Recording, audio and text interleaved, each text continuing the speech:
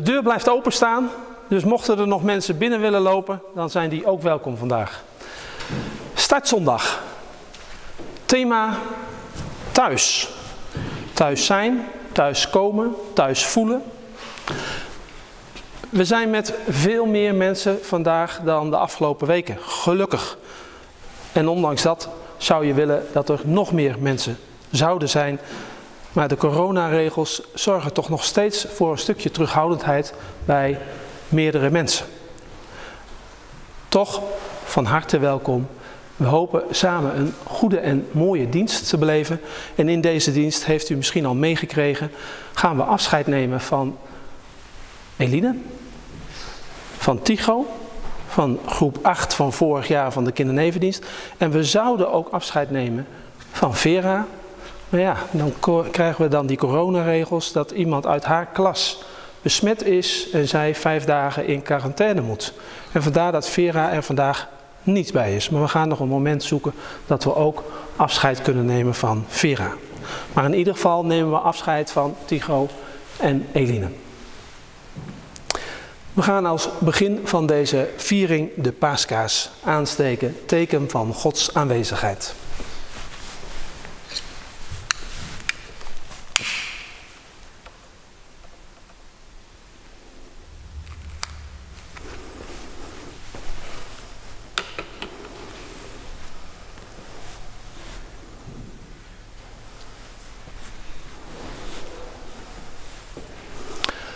Zoals iedere dag de zon opgaat en de nacht verjaagt.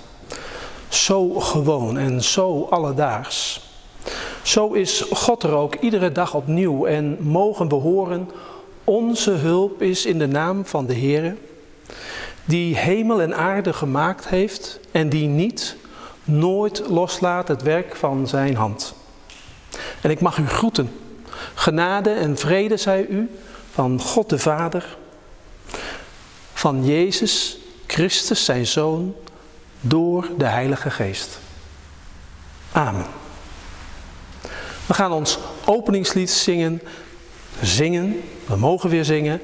Weliswaar is er afgesproken om dat nog een beetje ingetogen te doen, maar we mogen allemaal weer meezingen. Lied 216, de versen 1, 2 en 3.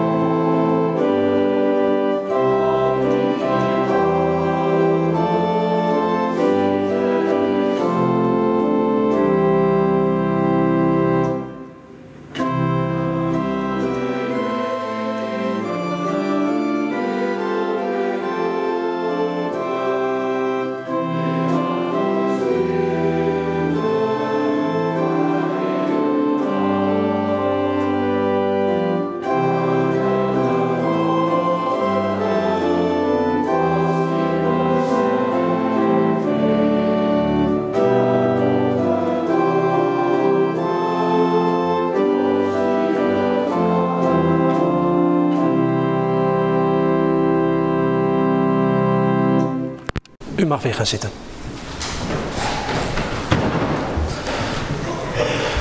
En nou zei ik ingetogen zingen en toen merkte ik al bij mezelf dat ik het eerste lied eigenlijk direct volop begon, nou niet te brullen, maar toch flink te zingen. Ik, oh nee, wacht even, ietsjes ingetogen. Ik wil met u het gebed bidden om de nood der wereld en ik bid daar vanmorgen het gebed Erbarm u, geschreven door Dak Hammerskolt. Laten we samen bidden. Erbarm u over ons gemoed. Erbarm u over ons streven dat wij onder uw ogen in liefde en geloof, rechtvaardigheid en ootmoed u mogen volgen in zelftucht en trouw en moed en u ontmoeten in stilte. Geef ons een zuiver gemoed dat wij u mogen zien. Een nederig gemoed dat wij u mogen horen. Een liefdevol gemoed dat wij u mogen dienen. Een gelovig gemoed dat wij mogen leven. U die ik niet ken, maar aan wie ik toebehoor. U die ik niet begrijp, maar die mij hebt gewijd aan mijn eigen lot. U, God, erbarm u over ons. Amen. We gaan samen het gebed verlengen door te zingen lied 274, de versen 1, 2 en 3. En u heeft het misschien al eens eerder met, in een dienst gezongen. Het is een lied waar je begint met Kyria en eindigt met Gloria. Laten we gaan zingen.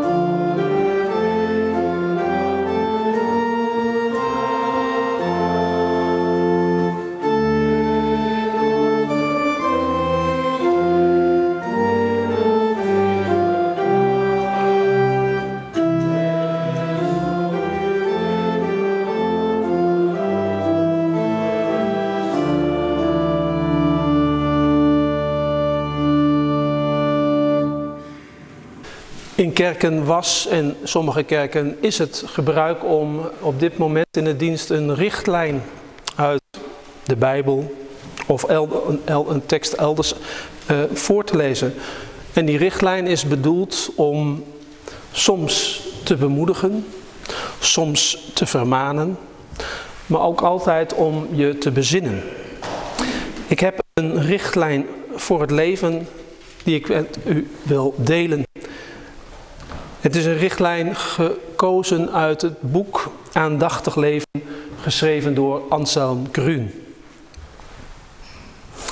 er is een mooie uitspraak van de kerkvaders waarin onze omgang met het woord, de Bijbel, wordt vergeleken met een paard en een kameel. Een kameel neemt genoegen met weinig eten. Hij herkoudt het steeds weer. Een paard heeft daarentegen veel voer nodig. Het heeft nooit genoeg.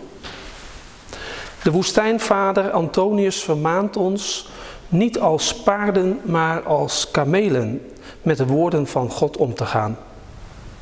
We moeten niet onverzadigbaar steeds maar nieuwe dingen naar binnen proppen, maar het beetje dat we gehoord en gelezen hebben in ons hart bewaren. Dan kan het ons veranderen en kunnen we ervan leren. Als richtlijn om over na te denken. We gaan uh, afscheid nemen. Eline en Tycho, mag ik jullie vragen of je alvast naar voren wilt komen? En eigenlijk wil ik dat ook vragen aan Hendrik Jan.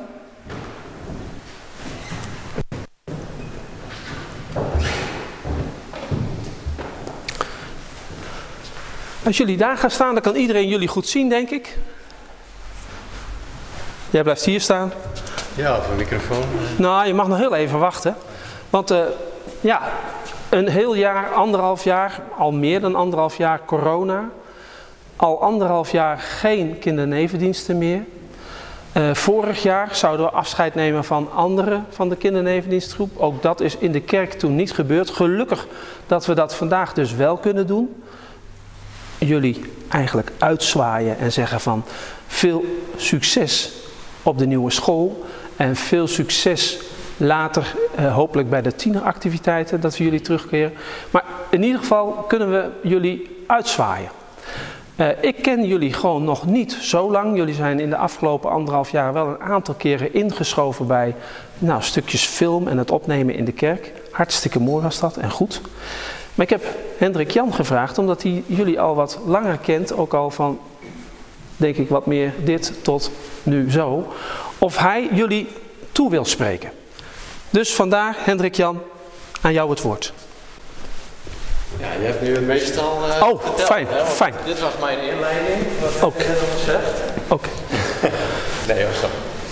Um, ja, en ik voel me ook heel oud als je zegt van nou, van zo klein uh, heb ik Tigo en Helene in de kinderleefdienst gehad. Dan ga ik me ook heel oud voelen natuurlijk.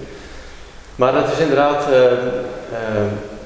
nou ja, al een hele tijd dat jullie natuurlijk bij de kinderleefdienst zijn geweest. Van kleins af aan. En um, nou ja, wat de dominee al zegt, is een beetje raar afscheid nemen nu, omdat de laatste tijd natuurlijk geen kinderleefdienst is geweest. Dat lijkt allemaal al heel lang geleden, hè, de laatste keer. We hebben natuurlijk heel veel verschillende dingen uh, gedaan. En hebben jullie altijd heel uh, actief aan meegedaan. Ja, nu de volgende fase. Hè. Jullie zijn inmiddels al uh, naar de nieuwe school natuurlijk. Dus dan ja, hebben we een hele nieuwe fase. Maar we wilden inderdaad even aandacht aan besteden, nu het gelukkig weer zo even kan, met wat mensen om ons heen. En een klein uh, cadeautje geven. Nou, het thema hebben we gehoord van vandaag is thuis. Dus het leek ons leuk om een spelletje te geven voor thuis. Dus kunnen jullie thuis doen met je gezin. Ik even een goede pakken, want inderdaad, aan het begin hebben we al gezegd, helaas, ik er niet bij, maar dat gaan we op een ander moment nog doen. Nou, hartstikke bedankt Tigo voor je hele inzet. En Eline ook. En heel veel succes. Oké. Okay. Dankjewel. Ja, ja. Kort maar krachtig. En uh, sorry uh, Hendrik Jan dat ik al wat gras voor je voeten had weggemaaid. Want ik dacht, nou, dit kan ik vast wel nog even als intro uh, doorgeven. Um, we hebben ook gevraagd aan een van de ouders, oftewel jullie eigen ouders, of Willem of Rini voor Vera, of die als een van de ouders nog een gedicht zou willen uitspreken. En hoewel Vera er niet is, heeft Rini aangegeven dat zij dat wil doen. En daarmee sluiten we ook dit stukje afscheid af.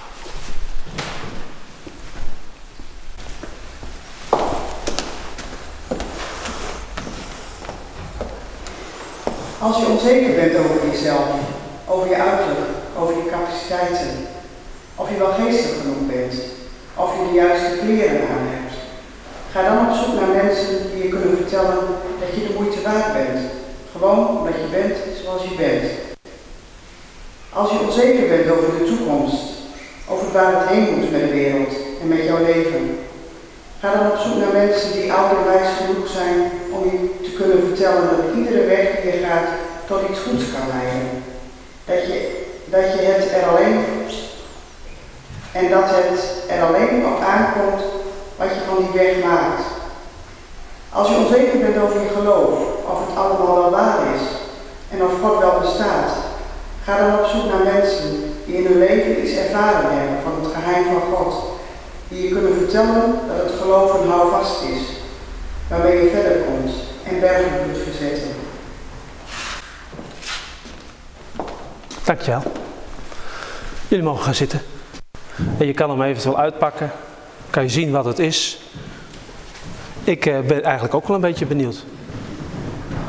Een spelletje voor thuis, maar wat zou dat dan zijn?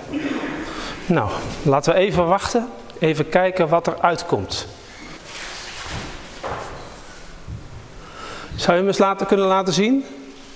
Het zijn dezelfde fase 10. Een kaartspel, denk ik, Hendrik Jan? Media? Een kaartspel om met elkaar te spelen en ja, met een beetje rivaliteit natuurlijk, zeg ik dan maar, er een leuk spel van te maken. Dan kijk ik naast jullie ook nog even naar de andere kinderen en tieners in de kerk. Want ehm, nou, ik zei net al, uh, eigenlijk heel erg jammer dat we geen afscheid kunnen nemen van Vera in deze dienst. En uh, ja, daar loop je dan over na te denken, hoe zou dat kunnen? En ik had ook al een soort van uh, vraag of opdracht bedacht voor de kinderen en tieners. Um, dus ik wil eigenlijk het volgende aan jullie vragen. Het thema is thuis, zeiden we al. En wanneer is iets nou thuis? Wanneer is iets thuis, Iris of Kim? Wanneer voel je je thuis? Hmm. Ik denk als je lekker kunt spelen in de boomhut. Lekker vrij en blij kunt doen waar je zelf zin in hebt. Klopt dat of niet? Ja. Iemand anders. Wanneer ben je thuis? Wanneer voel je je thuis? En misschien de ouderen ook. Wanneer voel je je thuis? Wanneer ben je thuis? Als je jezelf kunt zijn. En dan maakt het niet uit waar je bent. Als je jezelf kunt zijn, en dan maakt het niet uit of je in huisje A, B, C, hier in Gods huis, ook een huis. Als je daar jezelf kunt zijn, dan ben je thuis. Dankjewel. Iemand anders?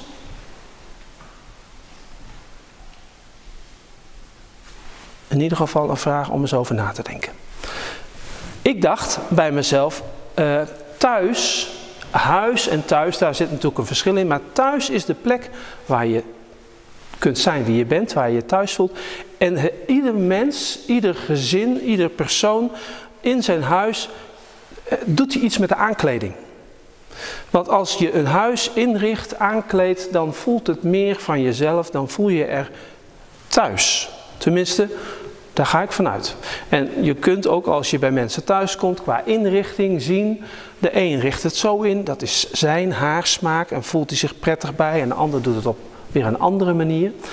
En ook in de kerk, als mensen hier binnenkomen, of het nu hier in Schildwolde is, of in Kolham of Noordbroek, of welke kerk dan ook, daar kom je binnen en dan kun je het gevoel hebben, ja, ik kom weer thuis. Of hier voel ik me mezelf, hier mag ik mezelf zijn. En daar heeft aankleding, dacht ik bij mezelf, ook wel wat mee te maken. Bloemen, een kerkorgel, de klanken van een orgel, soms de aanblik van banken of stoelen. Ja, de een valt hier wat meer op en de ander daar. Nu had ik bedacht voor de aankleding, zou het mooi zijn als we samen met de kinderen en tieners uh, een soort van schilderij gaan maken. Um, ik heb panelen, negen panelen. En op die panelen zie je dat daar iets ingetekend staat. In dit geval zie je met potloodstreepjes een rondje, een paar rondjes. De opdracht die ik jullie mee wil geven, en daar heb je zes weken de tijd voor, dus voldoende tijd lijkt mij, is om de panelen, en dan doe ik het even zo, helemaal in te kleuren. En of je dat nu met verf of met wasco of met potlood of met stof misschien wel in wilt kleuren. Waarbij je voor jezelf zoiets hebt van hier voel ik me thuis. Het kan dus ook met tekst zijn. Ik wil het aan jullie eigen creativiteit overlaten. Er is één maar. In de baan tussen de streepjes mag je niet kleuren, verven of wat dan maar. Die moet echt wit blijven. Als we dan over zes weken, en daarbij nodig ik jullie dus direct ook weer uit, over zes weken, dan is ook de tweede, staat de tweede activiteit voor de tieners weer gepland. Als jullie over zes weken weer hier zijn en iedereen zijn paneeltje meeneemt, dan kunnen we in de kerkdienst die paneeltjes aan elkaar schuiven en zien we wat er is gemaakt. En ontstaat er iets wat te maken heeft met jullie gevoel van thuis. En dan gaan we dat wat mij betreft in een van de kerken, moeten we dan maar overleggen welke kerk dat is, ook ophangen. En zeggen, ah, dit is een dingetje wat zorgt dat ik me ergens meer thuis voel. Ik ga ze gewoon uitdelen. Ik hoop dat iedereen zegt van, doe mee, gaat me lukken. Zes weken de tijd. Uh, mijn vader, mijn moeder kan misschien nog even wat hints, uh, wat helpend zijn. Maar uh, ik heb zitten tellen. 1, 2, 3, 4, 5, 6, 7, 8, 9. En ik heb nog drie, of, drie lege, die kunnen er eventueel onder gemaakt worden. Want Vera is er bijvoorbeeld niet. En ik denk bij mezelf, zou ook mooi zijn als Vera er eentje krijgt. Ja? E eerst deze maar. Um, er zijn een paar waarvan je dan misschien denkt, ja wat mag ik wel inkleuren en niet inkleuren. Hier mag je dus niet inkleuren. Dit moet wit blijven. Dit moet wit blijven, maar hier kan je inkleuren. Hier kan je inkleuren. En hier ook. Ja? Nou, volgens mij wijst zich dat vanzelf. En ik denk, en vooral ook hoop, dat we dan een heel erg mooi schilderij met elkaar gaan maken. Alsjeblieft. En je kan eventueel nog ruilen als je dat wilt. Zal ik er twee meegeven? Ja? Een heel klein stukje, kan je heel veel kleuren. En net weer een ander. Zal ik er hier één meegeven? Geef ik er daar? Of, of zal ik er twee meegeven? Ik wil er ook twee meegeven en dan doe ik daar een, een, kale. Ik maak zo meteen het pak nog wel even open en dan komt er nog een uh, kale die helemaal ingevuld kan worden. Ja? Oh ja, ik uh, dacht bij mezelf, misschien zijn er een aantal die hebben nu al een ideetje van wat ze zouden willen. Mocht je dat hebben, ik denk ik neem vast een potloodje mee, dan kan je vast een schetsje maken, mocht je dat willen. Dus ik zou zeggen, als je het wilt, pak er vast een potlood uit, kun je meenemen en eventueel een start maken. 1, 2 en nog eentje voor achteren.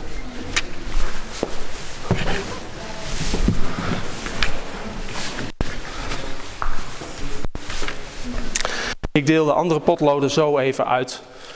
Um, ik hoop dat dat gaat lukken met elkaar. Ja? Um, dan gaan we naar uh, de Bijbellezing of het openen van de schrift. Ik wil uh, daarvoor eerst een kort gebed uitspreken. Uh, en dan zijn er twee lezingen. Een lezing die ik maar de lezing van Mirjam en Micha noem. En een tweede lezing uit het Nieuwe Testament. Waar nou, van oudsher de titel boven stond De Verloren Zoon. Maar ik hoop mijn overdenking ook duidelijk te kunnen maken dat dat eigenlijk meer is dan de verloren zoon. Laten we nu eerst bidden. God, laat er ruimte zijn in mijzelf. Laat er rust zijn in mijn lichaam. En openheid om te horen wat er te horen is. Laat uw geest mij ontvankelijk maken. Zo bidden wij. Amen. Cora, mag ik jou uitnodigen om het verhaal van Mirjam en Micha met ons voor te lezen. Mirjam en Micha spelen met hun boerderij. Mag ik meedoen? vraagt Jezus. Dan ben jij de vader, zegt Micha. Ik ben kind. Ik ook, zegt Mirjam. En ze pakt een poppetje en zet dat bij de varkens neer. Micha zet zijn poppetje in de trekker. Ik ga werken op het land, zegt hij, want ik wil boer worden. Dan ga ik wel pannenkoeken voor jullie maken, zegt Jezus, want een vader zorgt voor zijn kinderen. Hij zet zijn poppetje in de keuken neer. Mirjam zegt niet heel veel. Ze is een beetje uit haar hum en ze heeft nergens zin aan. Ze pakt een varken en begint erop te slaan, net zolang tot het kapot is. Dan staat ze op en zonder iets te zeggen loopt ze naar buiten. Nou ja, dan spelen wij wel zonder haar verder, zegt Micha. Kijk maar eens hoe goed ik trekken kan rijden. Het duurt wel lang voordat Mirjam terugkomt. Als Jezus haar ziet lopen, gaat hij naar buiten. Ik heb spijt, zegt Mirjam, en honger. Het is wel goed, zegt Jezus. En hij neemt Mirjam mee naar binnen.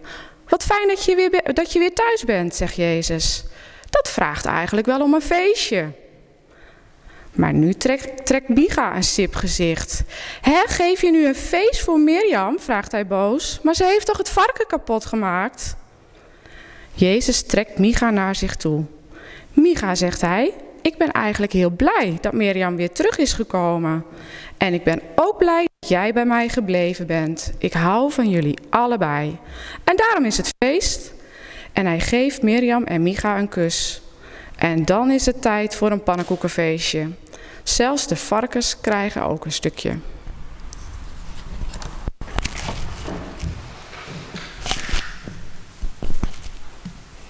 Jezus gaf ook dit voorbeeld. Een man had twee zonen. De jongste zoon zei tegen zijn vader: Vader, ik wil mijn deel van de erfenis nu hebben.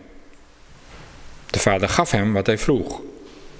Een paar dagen later pakte de zoon al zijn spullen bij elkaar en ging weg. Hij ging naar een ver land. Daar gaf hij al zijn geld uit aan een leven vol plezier. Toen alles op was, kwam er een grote hongersnood in het verre land. De zoon had niets meer te eten. Daarom ging hij werken bij een van de mensen in dat land.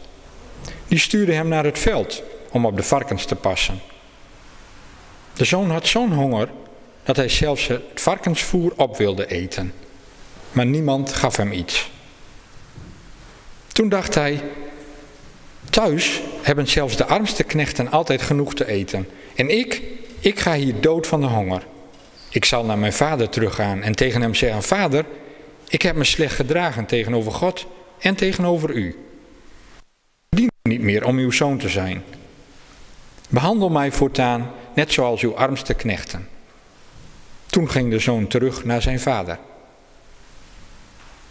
De vader zag zijn zoon al vanuit de verte aankomen. En meteen kreeg hij medelijden. Hij rende naar zijn zoon toe, sloeg zijn armen om hem heen en kuste hem. De zoon zei: Vader, ik heb me slecht gedragen tegenover God en tegenover u.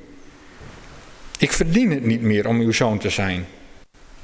Maar de vader zei tegen zijn knechten: Haal snel mijn mooiste jas voor mijn zoon en trek hem die aan. Doe een ring om zijn vinger en doe schoenen aan zijn voeten. Haal het vetste kalf en slacht het. We gaan eten en feest vieren. Want mijn zoon was dood, maar nu leeft hij weer. Ik was hem kwijt, maar ik heb hem weer gevonden. Toen gingen ze feest vieren. De oudste zoon was nog op het land. Toen hij thuis kwam, hoorde hij dat er muziek gemaakt werd. En dat er werd gedanst. Hij riep een van de knechten en vroeg waarom een feest was. De knecht zei: Je broer leeft nog, hij is terug. En je vader heeft het vetste kalf laten slachten. Toen werd de oudste zoon kwaad. Hij wilde niet naar binnen gaan. Zijn vader kwam naar hem toe en zei: Ga toch mee naar binnen. Maar de zoon antwoordde: Ik werk nu al heel veel jaren voor u. En ik heb altijd gedaan wat u van mij vroeg. Toch hebt u voor mij nooit een dier laten slachten, niet eens een geitje om feest te vieren met mijn vrienden. Maar nu komt die zoon van u thuis en voor hem slacht u het vetste kalf, terwijl hij uw geld heeft uitgegeven aan de hoeren. Toen zei de vader, lieve jongen, Jou heb ik altijd bij me. En alles wat van mij is, is van jou. Maar we kunnen niet anders dan blij zijn en feestvieren. Want je broer was dood, maar hij leeft weer. We waren hem kwijt, maar nu hebben we hem weer gevonden. Misschien heeft u gemerkt dat de lezing niet uit het, uh, de NBV-vertaling kwam, maar uit de Bijbel voor gewone taal. Misschien is het u niet opgevallen, maar dan weet u in ieder geval wel. Bij dit verhaal is in het liedboek een uh, eigen lied geschreven. Een uh, lied wat qua tekst vond ik een heel mooi lied is en daarom heb ik het ook op de liturgie gezet. Lied 185 versen 1 tot en met 3. Maar het is denk ik ook een enigszins onbekend lied. Uh, Klaas heb ik gevraagd van, is het te spelen? Ja, het was te spelen. Is het te zingen? Ja, dacht Klaas, het is ook wel te zingen. Dus we gaan het gewoon proberen. Een lied, misschien wat onbekend, maar we gaan het doen.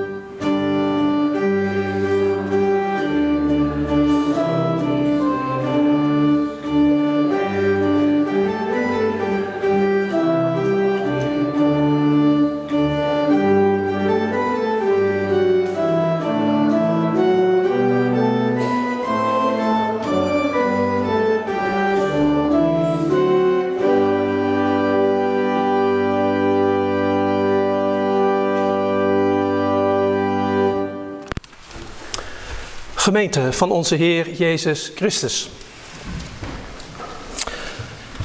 We hebben het net al even gehad over het verschil tussen huis en thuis.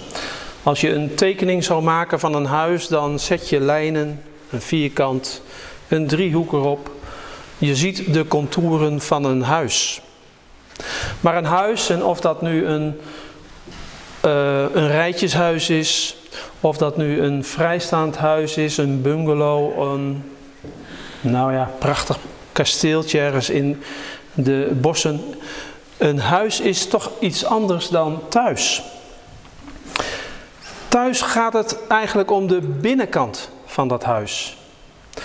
En de vraag is dan, kan ik in het huis waar ik woon mij ook thuis voelen? Is de plaats waar ik woon, is het land waar ik geboren ben, ook mijn thuis? Kan ik er zijn wie ik ben en kan ik me er veilig voelen?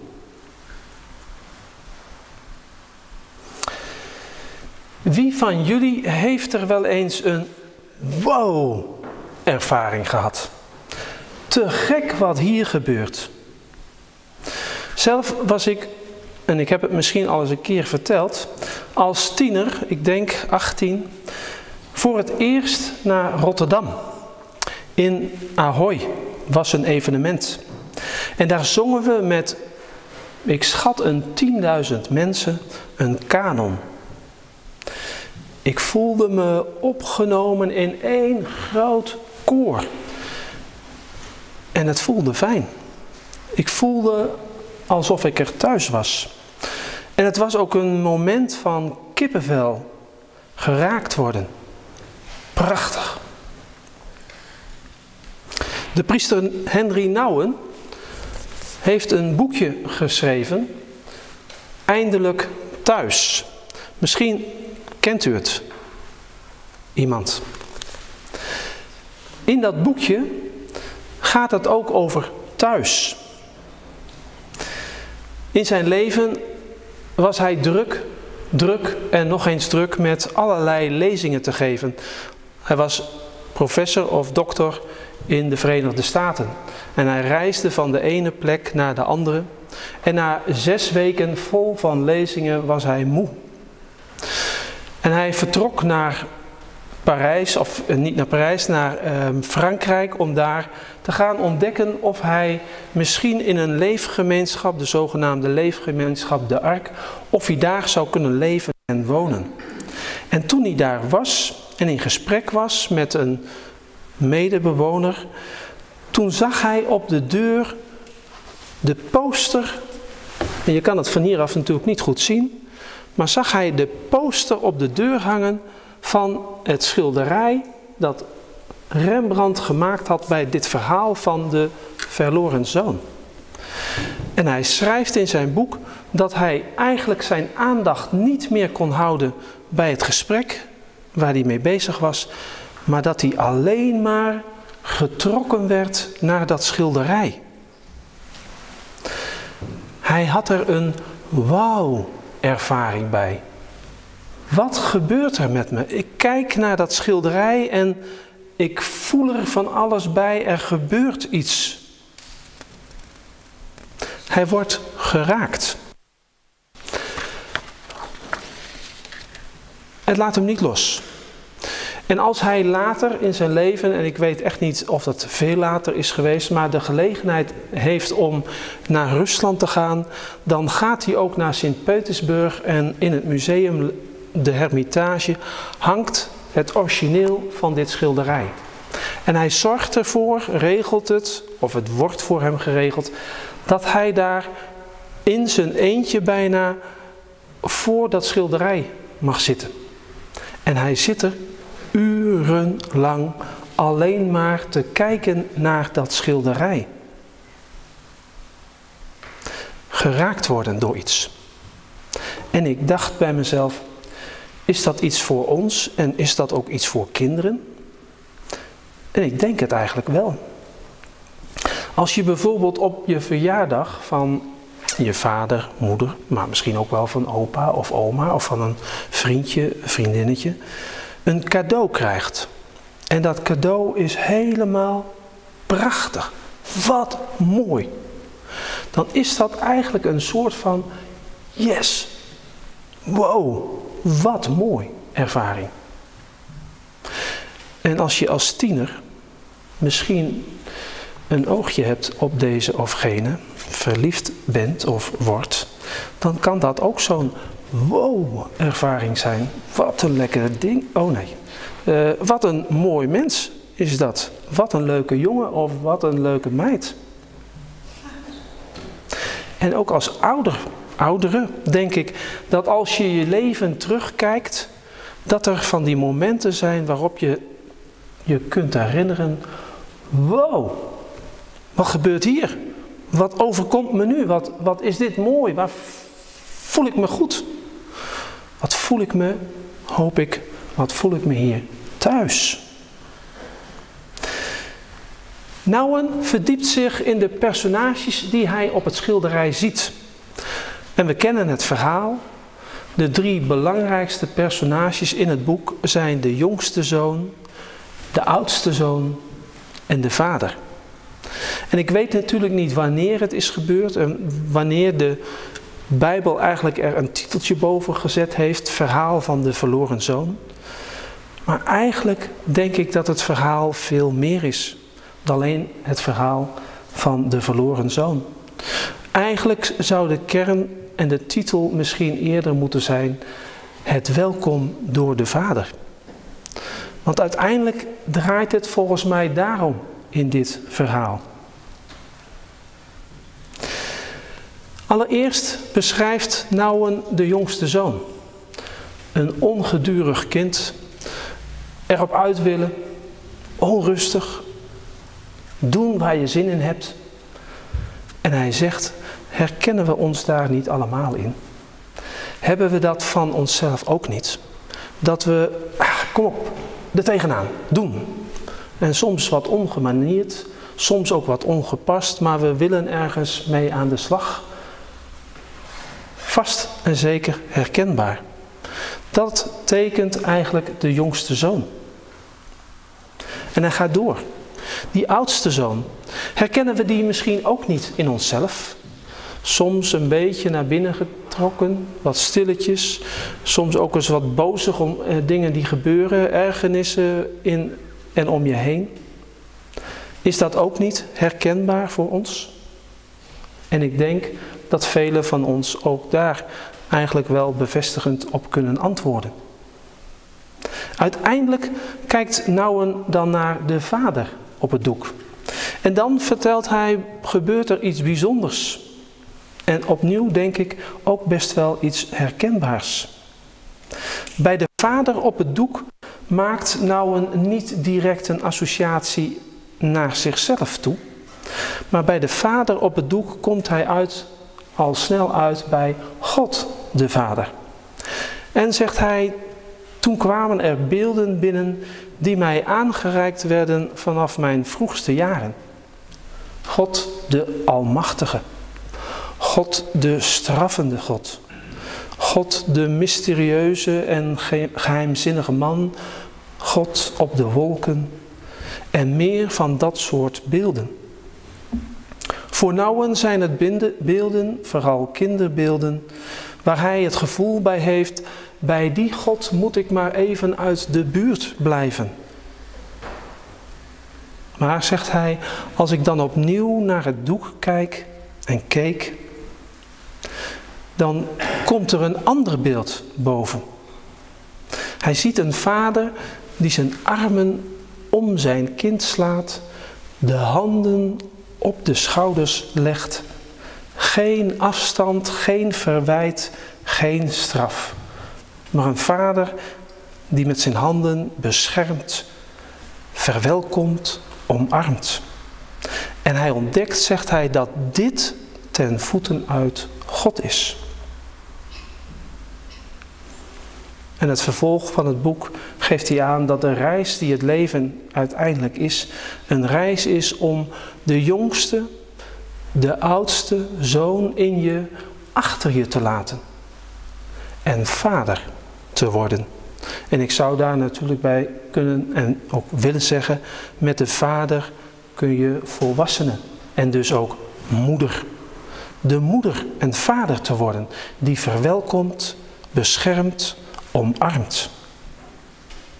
Dat is volgens hem, en ik onderschrijf het, iets wat ieder in zijn leven zou kunnen en mogen nastreven. En als het dan lukt om die vader- of moederrol te verwezenlijken, dan gebeurt er, als het goed is, iets van: wauw, wat fijn dat ik dit nu kan en mag.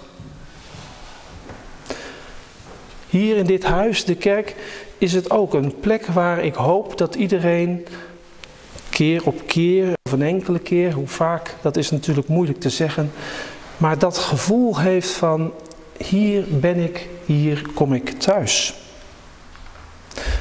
Wat we in ieder geval mogen weten is dat we hier altijd door God als vader, als moeder verwelkomd worden.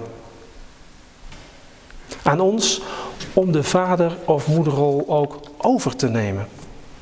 En dat is voor mij, en het leek mij in ieder geval goed om dat al aan het begin van deze nieuwe jaar, van dit nieuwe jaar, op startzondag, om daarbij stil te staan. Ik hoop natuurlijk, net als anderen, dat het jaar niet, niet meer gedomineerd gaat worden door alle coronabeperkingen, ook al hebben we er nog steeds mee te maken. Ik hoop dat we meer en meer naar de kerk kunnen, dichter op elkaar kunnen en mogen gaan zitten, elkaar weer ja, meer nabij kunnen komen, letterlijk en ook figuurlijk. En dat kan voor de een door het zingen van een lied, het horen van een woord, het lezen van een tekst, het luisteren naar een overdenking, dat je een wauw-ervaring hebt waardoor je je thuis voelt. Weet in ieder geval dat God jou verwelkomt. Je bent een kind van Hem en Hij wacht altijd. Amen. We gaan zingen. Het lied aangegeven op het bord. En moet ik zelf even kijken. Lied 263 als ik het goed heb. Laten we dat samen gaan zingen.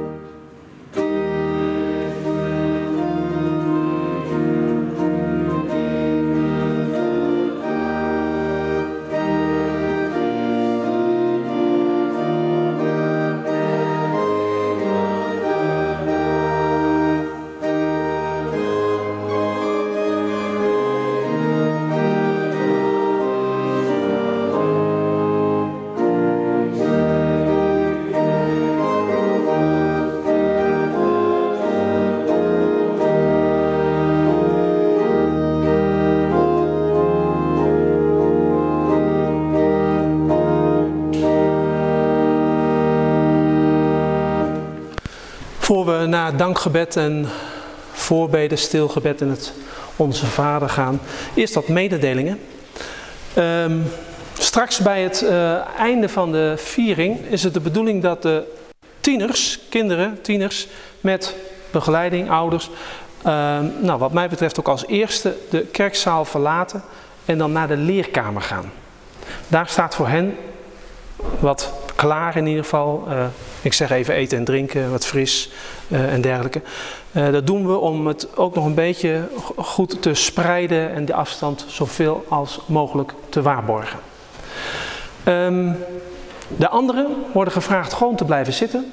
U krijgt koffie, thee, net wat u wilt, aangereikt. En op die manier blijven we toch ook die afstand goed in de gaten houden. Rond half twaalf, net iets ervoor, net iets daarna, maakt niet zoveel uit, gaan we met z'n allen de kinderen en tieners uitzwaaien, want die gaan een lekkere activiteit doen in het Grunelpark van Harkstede. Uh, jullie alvast, ik uh, hoop dat er niet te veel hoogtevreeservaringen zijn. Ik begreep dat Timo daar wel een beetje last van had. Nou ja, niet te hoog zou ik zeggen. En weet altijd, je zit vast. Dus ja, als je uh, al een metertje dan de kabel zorgt ervoor dat je vast zit. En misschien is Timo niet eens de enige. Ik kijk zo nu, misschien is mama ook wel een beetje. Dus uh, dan kun je het mooi delen met elkaar. Ook goed. Maar in ieder geval, we zwaaien ze rond een uur of half twaalf uit. en na de dienst is er voor iedereen natuurlijk koffie, dan wel thee. Uh, we hebben even een aantal activiteiten met elkaar besproken, doorgenomen, die heel eenvoudig zijn. Als u zegt, ik vind het heerlijk om met dit weer, want het is qua temperatuur prima, even een wandelingetje te maken. We hebben niks uitgezet, maar spreek een aantal mensen aan. Heb je zin om even een ommetje te maken en loop gewoon een eigen route. Dat kan altijd. U heeft mij misschien zien lopen met een ouderwetse groene broodtrommel daar zit een escape opdracht in. Als er mensen zijn die dat leuk vinden om te doen, kunnen ze daarmee aan de slag. Um, afgelopen voorjaar hebben we drie muziekquizzen aangeboden. Uh, een van die muziekquizzen is, ligt er opnieuw. Dus als u zegt, hey, met een aantal mensen vind ik het leuk om nog eens wat vragen te beantwoorden. Vragen over geloof, maar ook over sport, over muziek, over van alles en nog wat, 50 vragen. Kunt u die ook met elkaar gaan maken. Nel en Jan van Borstelen zijn nu op dit moment nog niet aanwezig, maar die hebben uh, aangegeven dat zij een aantal oud-Hollandse spelletjes voor ons klaarleggen. Dus uh, als we zometeen klaar zijn, dan denk ik dat die of bij de leerkamer ja, uh, klaarstaan. Dus als u zegt, ik wil wel eens even een potje sjoelen, want ik dacht dat ze in ieder geval een sjoelbak mee zouden nemen, of iets anders. waar het om gaat is je thuis voelen, gezelligheid, iets met elkaar in contact. Uh, dat is het idee van al de activiteiten die we bedacht hadden. Nou, volgens mij is dit uh, helder, Emke, zeg ik. Nee, compleet? Goed. Dan is er één collecte vandaag, of tenminste, eigenlijk zijn het meerdere collecten, maar we doen het eenmalig. En omdat de ene wel de kerkzaal verlaat en de ander weer niet, hebben we afgesproken, en Jaap vindt het denk ik ook nog wel leuk, dat Jaap toch even met de stok langs gaat. Dus er wordt gewoon gecollecteerd zometeen. En wat er in de collecte uh, komt, wordt verdeeld over kerk, diaconie en wellicht ook nog een ander doel. Maar goed dat u dat vast weet. En dan tot slot zou ik zeggen, de bloemen. De bloemen gaan als groet van de gemeente naar Emke en ik zou zeggen ook naar Wilfried. Voor alle werkzaamheden, voor deze dienst, het klaarzetten en het regelen. Uh, heel hartelijk dank uh, Emke voor alles wat je nou, gedaan hebt. En nogmaals, ook voor Wilfried, want die heeft, heb ik begrepen, ook meegeholpen met allerlei dingen klaarzetten. Dus bij deze als groet van de gemeente. Dan wil ik uh, het dankgebed, stilgebed met u gaan bidden. En zoals gezegd, we eindigen dat gebed door samen het Onze Vader te bidden. Laten we bidden. God. We danken u omdat we weten dat u altijd weer op de uitkijk staat. Altijd weer met open armen ons verwelkomt. Hoe we ons ook voelen en wat we ook doen of gedaan hebben, u bent er voor ons. We danken voor deze startzondag. Binnen de mogelijkheden is de kerk gevuld met jong en oud. En wat doet dat goed? We danken voor deze dag. En ook voor iedere dag dat we samenkomen en ons thuis voelen bij u en met elkaar. God, we bidden voor beide gemeenten. Want er is zorg voor de toekomst. Hoe kunnen we samen kerk zijn? Corona heeft het dagelijkse ritme flink op zijn kop gezet. En ook de kerk, de geloofsgemeenschap, ondervindt daar last van. Hoe kan de kerk stand houden? Vragen velen zich af. God, leer ons in geloof, in hoop en met liefde zien dat wij zelf die gemeenschap zijn, dat wij zelf die geloofsgemeenschap vormen. En leer ons vertrouwen dat u zelf, wat u zelf door de mond van Jezus gezegd hebt, daar waar mensen in mijn naam bij elkaar komen, daar is God. God, we doen voorbeden. En dat doen we omdat mensen in onze gemeenten ziek zijn. Soms ernstig ziek en de dood onder ogen zien. Zo zwaar en moeilijk kan het zijn, God, als het lichaam niet meer doet wat het altijd gedaan heeft. Of als de geest verward raakt en mensen afhankelijk raken van anderen. Of als de communicatie met een liefdevol woord niet meer gedeeld kan worden. God, in die verlatenheid bidden we om uw aanraking. Dat er sprake mag zijn van een weten dat u ieder van ons draagt, dat ieder mens bij u telt. God, we maken het stil. Hoor de woorden die in ons hoofd opborrelen. Lees onze gedachten.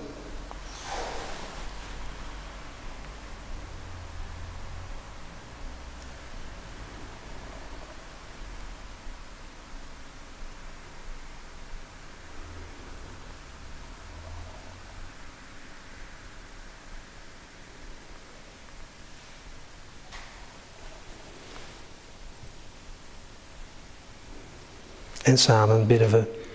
Onze Vader die in de hemelen zijt. Uw naam worden geheiligd. Uw koninkrijk komen. Uw wil geschieden. In de hemel, hemel als ook op aarde. Geef ons heden ons dagelijks brood. En vergeef ons onze schulden. Gelijk ook wij vergeven onze schuldenaren. En leid ons niet in verzoeking. Maar verlos ons van het boze. Want van u is het koninkrijk en de kracht en de heerlijkheid tot in eeuwigheid. Amen. We gaan ons slotlied zingen, lied 419, Bonen. Oh, ja, natuurlijk. Ja, dan moet ik wel die collector nog de gelegenheid geven. Jaap die uh, terecht zegt van, ho ho, we gaan eerst nog collecteren. Jaap, dankjewel voor de interruptie.